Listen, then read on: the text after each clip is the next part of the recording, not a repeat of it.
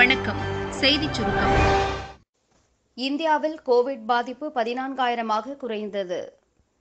இந்தியாவில் மேலும் பதினான்காயிரம் பேருக்கு தொற்று உறுதியானது.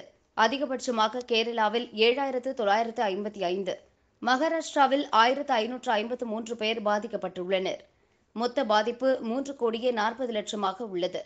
மேலும் நூற்று நாற்பத்தி நான்கு பேர் இறந்தனர். பலி எண்ணிக்கை நான்கு லட்சத்து ஐம்பத்தி இரண்டாயிரத்தை கடந்துள்ளது. மேலும் பத்தொன்பதாயிரம் பேர் டிஸ்சார்ஜ் செய்யப்பட்டனர். குணமடைந்தோர் எண்ணிக்கை மூன்று கோடியே முப்பத்தி நான்கு லட்சத்தை கடந்தது. ஒரு லட்சத்து தொன்னூற்றி ஐந்தாயிரம் பேர் சிகிச்சையில் உள்ளனர்.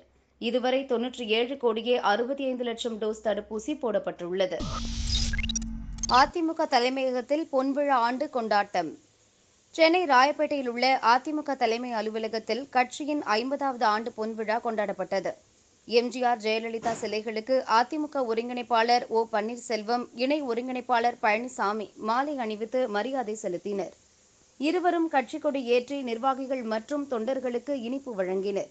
மக்கள் தொண்டில் மகத்தான ஐம்பது ஆண்டுகள் என்ற தலைப்பில் அதிமுக பொன்விழா சிறப்பு மலர் வெளியிடப்பட்டது. தகவல் தொழில்நுட்ப அணி சார்பில் பொன்விழா பாடலையும் வெளியிட்டனர். வால்பாறை எஸ்டேட்டில் யானைகள் அட்டகாசம். கோவை வால்பாறையில் உள்ள வரட்டுப்பாறை எஸ்டேட் பகுதியில் நேற்று இரவு ஏழு காட்டு யானைகள் புகுந்தது. அங்கிருந்த சத்துணவு கூடத்தின் ஜன்னல்களை உடைத்து உணவுப் பொருட்களை சாப்பிட்டது. பிளிரல் சத்தம் கேட்டு அப்பகுதிவாசிகள் அச்சத்தில் இருக்கின்றனர். வனத்துறையிடம் புகார் அளித்தனர். ஓடையில் விழுந்த பெண் விடிய விடிய தேடும் வீரர்கள். கோவையில் ஒரத்தி மலையில் இருந்து உருவாகும் பள்ள ஓடை மத்திப்பாளையம் வழியாக சென்னனூர் குட்டகைக்கு செல்கிறது. கனமழையால் வெள்ளம் பெருக்கெடுத்தது. இந்த நேரத்தில் ஓடையை கடக்க முயன்ற ஐம்பத்தி ஐந்து வயது விஜயா அடித்து செல்லப்பட்டார். தீயணைப்பு வீரர்கள் நேற்று இரவிலிருந்து அவரை தேடி வருகின்றனர். கனமழையால் குடியிருப்புகளிலும் மழைநீர் புகுந்தது. கரும்புக்கட்டை வைரட்டிஹால் சாலை சிஎம்சி காலனியில் சாக்கடை நிரம்பி வழிகிறது. எப்போது மழை பெய்தாலும் இதே நிலைதான் தொடர்கிறது. எத்தனை பேர் ஆள் இருந்தா பார்க்க ஆள் இல்லைன்னா டிச்சுக்குள்ள அப்படியே விழுக வேண்டிட்டாங்க டிச்சுக்குள்ள விழுந்தா ஆள் ஆள் வர்றாங்க போறாங்கன்னு தெரியாது.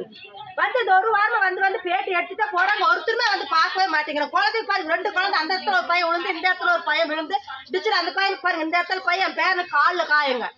யாருமே வந்து என்னென்ன பார்க்க மாட்டேங்கிறாங்க. எப்படி நாங்க இந்த ஏரியாக்குள்ள இருக்கு எங்க ஏரியாக்காரங்க ஃபுல்லா கார்பரேஷன் வேலைக்காரங்க ஆனா எங்க ஏரியாவை யாரும் சுத்தம் பண்ண மாட்டேங்கிறாங்க. அஹ் மசால் லைஃப்ல கிட்டத்தட்ட பத்து வருஷமா இதே பிரச்சனை தான் நடந்துட்டு இருக்கு. பாலை டிச்சு வந்து அதுக்கு கட்டி கொடுத்ததோட சரி அதுக்கப்புறம் வந்து அதுக்கான வேலைகள் எதுவும் பார்க்கல. அங்கங்க உடஞ்சு குழந்தைங்க விழுகிற மாதிரி இருக்கு. எல்லாத்துக்கும் அடிபடுது. அந்த இருக்கிற குப்பைகளை கூட சரியா வாடுறது கிடையாது. நாங்க இது சம்பந்தமா எத்தனையோ டைம் வந்து கமிஷனர் ஆஃபீஸ்ல கம்ப்ளைண்ட் பண்ணிட்டோம். கிட்டத்தட்ட ஒரு பதினஞ்சு கம்ப்ளைண்ட் பண்ணியிருப்போம். வந்து பார்க்குறேன் வந்து பார்க்குறேங்கிறாங்க வந்து பார்க்கவும் மாட்டேங்கிறாங்க. நாங்கள் இதுக்கு வந்து எம்பி வச்சு கூட நாங்கள் அவர் வச்சு கூட நாங்கள் ஒரு மணி நேரம் உட்காந்து பேசிட்டு அடுத்த வாரத்தில் வரையினாரு இன்னுமே வர கிடையாது. எங்களுக்கு அத்தியாவசிய தேவையே இந்த ஏரியாவில் கிடையாது. நாங்கள் ஏதோ குடியிருக்கோம். ரொம்ப சகிப்புத்தன்மையோட இங்கே வாழ்கிறோம் நள்ளிரவில் ஸ்டேஷனுக்கு அமைச்சர் திடீர் விசிட். புதுச்சேரியில் கஞ்சா கேஸில் பலர் கைதாகி வருகின்றனர்.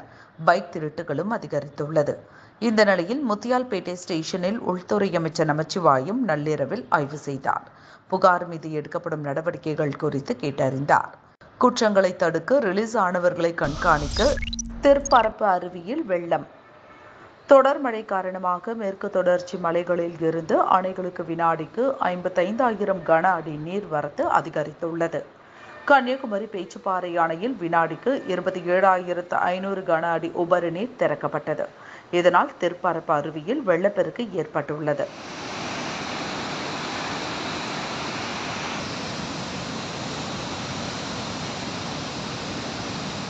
பல வீடுகளில் மழைநீர் புகுந்தது.